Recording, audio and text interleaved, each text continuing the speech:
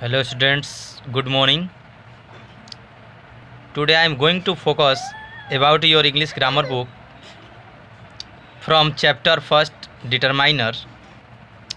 In previous class you have to already study about article. So according to article you have to study now use और miss use of a an आज मैं आपको A N का प्रयोग और अनुप्रयोग के बारे में बताऊँगा। यानी अकॉर्डिंग टू इंडिफिनिट आर्टिकल मैं पिछले क्लास में बताया था कि ए एन का प्रयोग कहाँ होता है। आज मैं उसको एक ट्रिक के माध्यम से बताने की कोशिश करूँगा।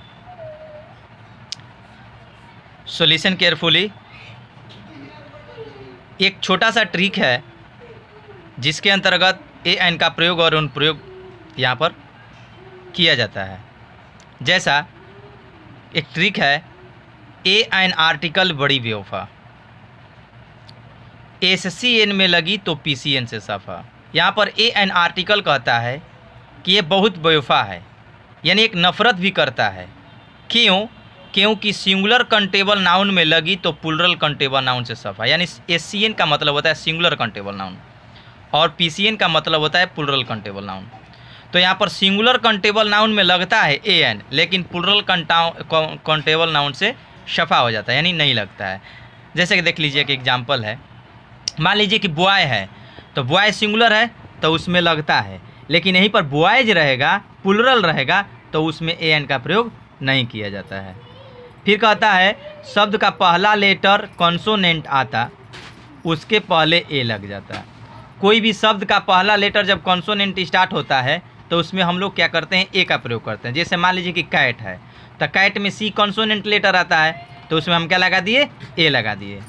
आयन लगता है उसी में केवल जिसके पहले आता भवेल। और जिस वर्ड के पहले भवे लेटर आता है, उसमें हम आयन का प्रयोग करते हैं। जैसे मान लीजिए ऑक्स है तो ऑक्स में ओ भवे लेटर है एलिफेंट में है। एलिफेंट में ई भवे लेटर है तो उसमें क्या लग जाता है? आयन लग जाता है। आगे चलते हैं। ए आ जाता आयन के जगह पर। यानी ए के जगह आयन आ जाता है, और आयन के जगह ए आ जाता है। मैं प्रीवियस चैप्टर में बताया था अकॉर्डिंग टू प्रोनाउंसिएशन जब होता हिंदी में उच्चारण का अंतर। जब हिंदी में उसका उच्चारण का अंतर होता है तो ए के जगह आयन और आयन के जगह ए हो जाता है। कैसे? जैसे मान लीजिए कि ऑनेस्ट बॉय है तो ऑनेस्ट बॉय में एच क्या है? कॉन्सोनेंट है। यहाँ पर तो ए होना चाहिए, लेकिन इसका हिंदी में प्रोनाउंसिएशन करने पर वॉवेल साउंड आ रहा है जिससे ऑनेस्ट यानी अ आ रहा है। उसी प्रकार, यानी आइन के जगह ए आ जाता है। जैसे मान लीजिए कि यूनिवर्सिटी है तो यूनिवर्सिटी में यू वॉवेल है आइन होना चाहिए, लेकिन हिंदी के अनुसार यू ए आ रहा है, अ आ रहा है, य आ रहा है। तो क, ख, ग से व्यंजन से संबंधित यदि वर्ड रहता है प्रोनाउंसिएट करने पर तो उसमें ए, ए का प्रयोग करते हैं। ये आपको दिखना है कि हिंदी में क्या आ रहा है उसका। उसी के अनुसार हमको लगाना है।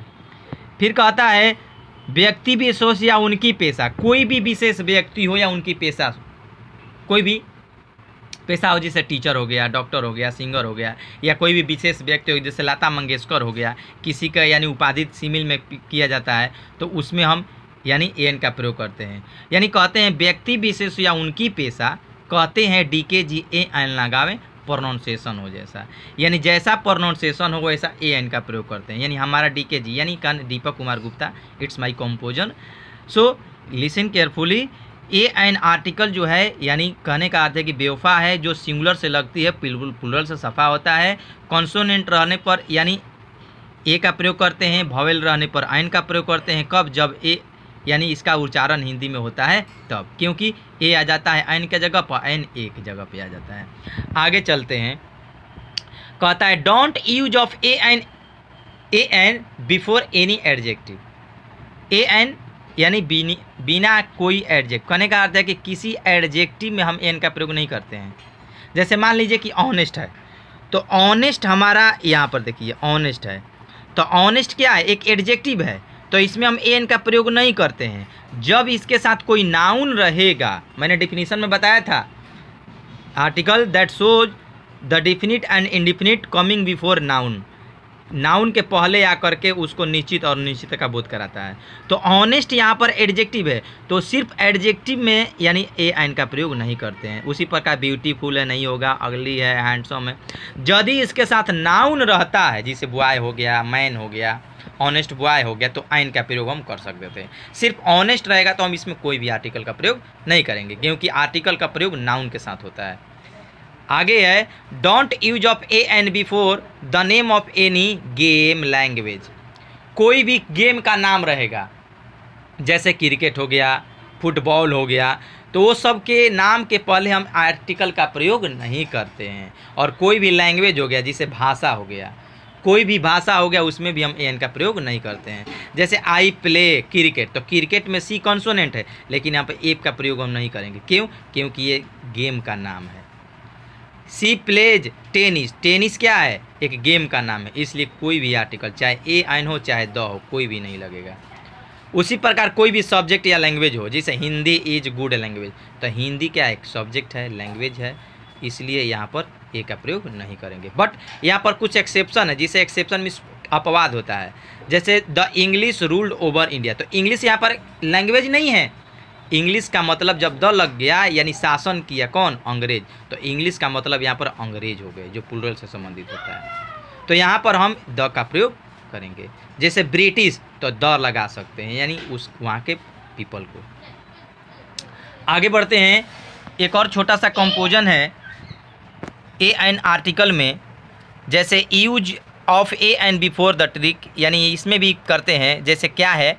मैनी ने ऐसा तीर चलाई, सेव को बिल्कुल आधी भाग बनाई, अपने बाद और उनके बाद, लेकर राइदर को भी साथ में वाट हाउ एक्सक्लामेशन के बाद भी ए एन लगाई। Hello students, please listen carefully इस पर थोड़ा सा ध्यान दीजिएगा, क्योंकि ऐसे वर्ड जो हैं ईरर करेक्शन के अंतर्गत आते हैं, जिसमें ए एन आर्टिकल या मिसिंग वर्ड में आते हैं, जिसमें ए एन आर्टिकल का प्रयोग किया जाता है। जैसे मेनी यानी मेनी एक वर्ड है सच एक इंग्लिश का वर्ड है क्वाइट यानी बिल्कुल एक वर्ड है हाफ़ वर्ड है राइदर है, ये सब वर्ड के बाद हम ए एन का प्रयोग करते हैं। और वाट हाउ एक्सक्लामेटरी सेंटेंस जब रहता है, जब शुरू होता है वाट हाउ से तो इसके आने वाले एडजेक्टिव या नाउन में हम ए एन का प्रयोग करते हैं।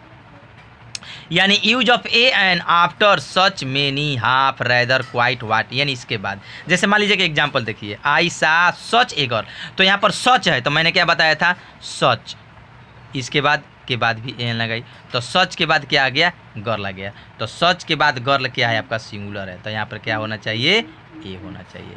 जैसे मेनी मैन यहाँ पर जो है मैन जो है ना, यहाँ पर देखिए, जब इरा जब मिसिंग वर्ड दे देगा, जैसे many man is on the road is unique यहाँ पर देखिए क्यू यहाँ पर दे देगा आपका क्वेश्चन में मेनी मैन इज़ तो यहाँ पर बहुत सारे मिसिंग वर्ड जिसे कहता है मिसिंग वर्ड ढूंढो तो मेनी मैन तो इसमें मैन के बाद क्या होना चाहिए? ए द का प्रयोग नहीं करेंगे, क्योंकि मेनी के बाद सिंगुलर रहने पर हम ए एन का ही प्रयोग करते हैं।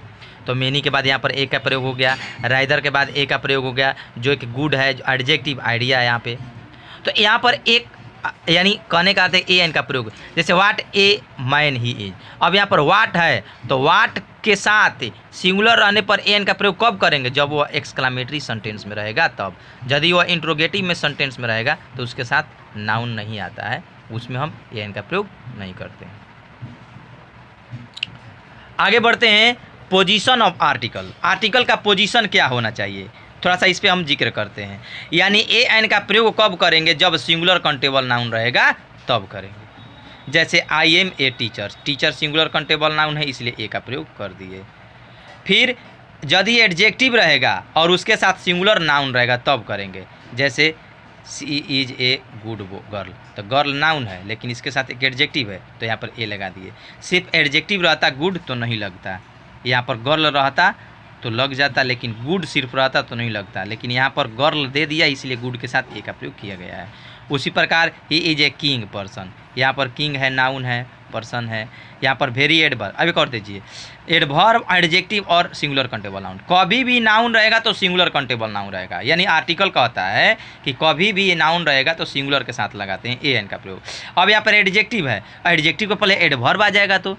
तो एडवर्ब रहने पर हम लगाएँगे कब? जब सिंगुलर कंटेबल नाउन रहेगा, तब। जैसे he is she is a very good girl तो यहाँ पर वेरी एडवर्ब है और गुड एडजेक्टिव है, लेकिन इसके साथ नाउन लगा है। तो जब नाउन लगा रहेगा एडजेक्टिव हो चाहे वर्ब हो तो ए एन का प्रयोग करते हैं। जैसे आई एम एक्सट्रीमली काइंड तो यहाँ पर एक्सट्रीमली है।